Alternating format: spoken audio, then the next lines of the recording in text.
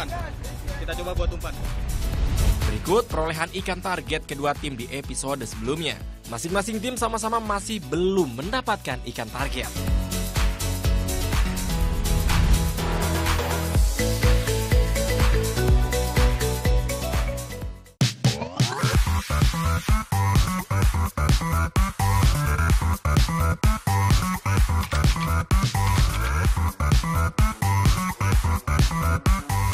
Setelah pindah spot kita cobain juga dasaran cari-cari ikan karang ternyata dapat juga Kail milik Ko Ayung yang mendapat sambaran dari ikan. Perlawanan ikan yang begitu kuat cukup menyulitkan Ayung untuk menggulung lidernya.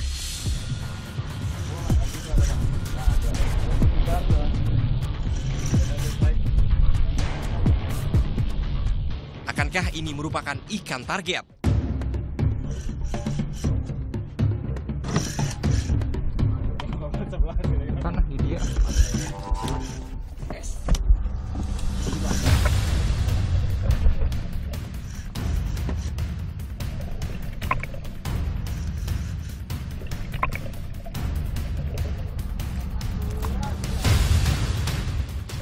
Akhirnya seekor ikan kue lilin berhasil landed di kapal.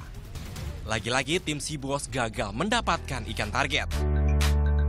akhirnya saya coba pakai umpan dasaran dan eh, dapat juga seekor kue lilin niatnya sih untuk cari tarik ikan target dengan teknik jigging tapi untuk misi waktu lumayan kita dapat ini dengan teknik dasaran Keberuntungan tim si bos berbanding terbalik dengan tim si catcher. Di spot yang berbeda, mereka masih saja bergelut dengan arus dalam laut. Sambil menunggu keadaan arus membaik, seluruh anggota tim memutuskan untuk beristirahat makan siang terlebih dahulu. Setelah selesai makan siang, seluruh anggota tim kembali mulai memancing. Keadaan arus yang belum membaik, ditambah tekstur bawah laut yang tidak dapat menancapkan jangkar, membuat kapal tim Sea Catcher terbawa arus.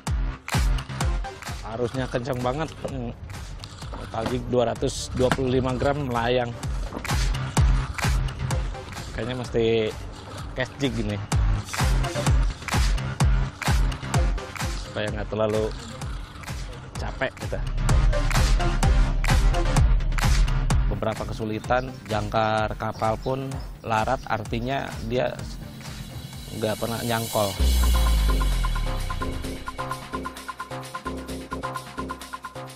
spot kita selalu bergeser beberapa menit selalu bergeser itu yang jadi kesulitan kami Keberuntungan rupanya belum berpihak sama tim ini. Akhirnya mereka memutuskan untuk berpindah spot.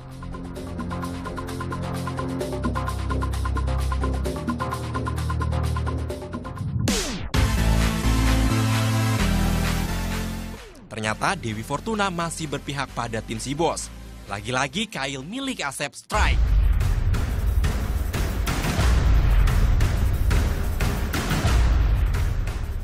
Perlawanan ikan yang tidak begitu kuat tidak menyulitkannya untuk menggulung lidernya. Akhirnya seekor ikan karang yang berukuran kecil landed ke atas kapal.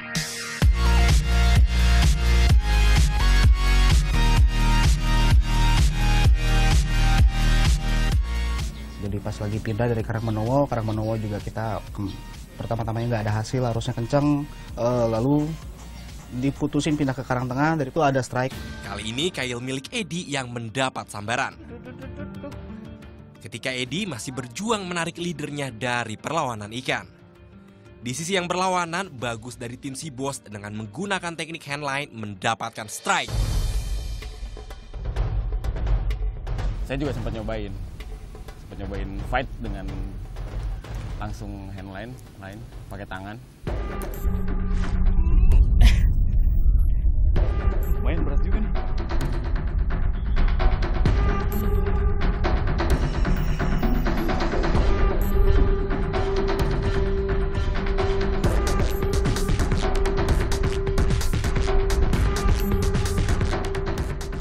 Kedua tim masih sama-sama melakukan perlawanan dengan ikannya.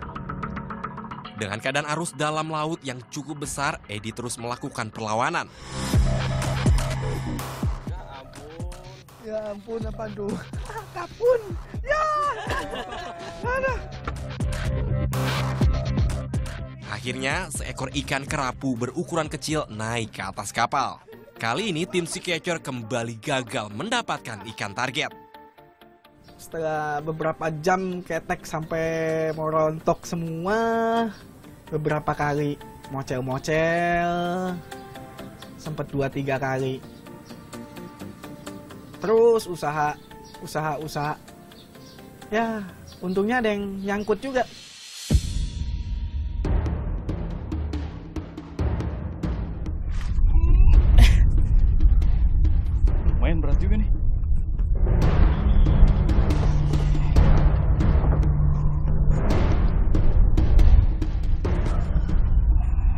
Teknik handline ini saya coba perbandingan dengan fight memakai joran atau memakai tackle beda jauh karena fightnya kita langsung main to main langsung lawan ikan. Oh, masih minta, masih minta. Oh. Masih narik ikan nih masih narik. Pak. Kita kasih, Pak. Minta kasih ya. Kasih berapa? Akankah ini menjadi ikan target pertama untuk tim Sea Boss? Perolehan sementara kedua tim saat ini masih sama-sama belum mendapatkan ikan target.